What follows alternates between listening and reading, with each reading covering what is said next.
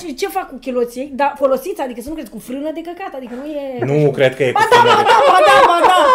Adică dacă, dacă bikini e atât așa de scurt, are și o dungă pe mijloc. Ce să... Bă, dar asta mi se pare afacere. Și dacă, dacă Eu numai de-astea auzi, dacă îți da. budigă, e cod de bare. Tic, tic, tic.